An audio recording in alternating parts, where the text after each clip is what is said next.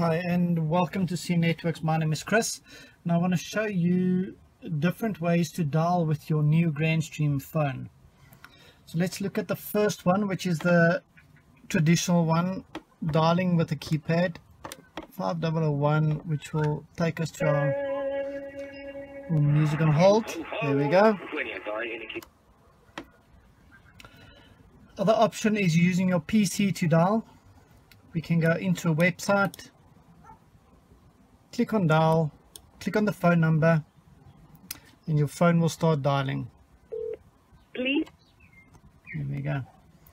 Other option is if you click on next screen on your phone, it will show you your phone's IP address. Go to your phone's IP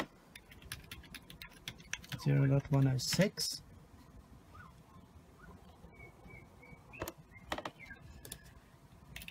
default username and password is admin admin.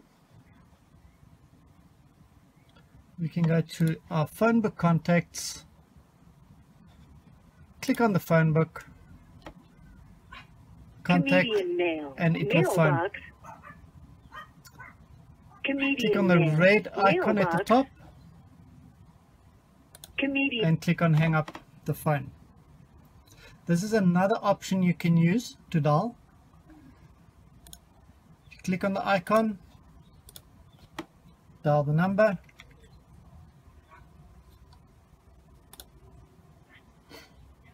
And there we go.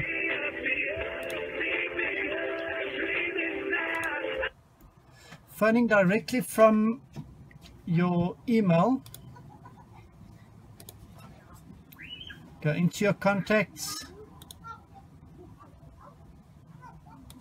and let's phone the speaking clock click on answer At the sound of the tone, the time will be exactly 8.49 and 20 seconds a.m. Depend, depending on what system you're using the email dialing function might not work but all the other functions will work.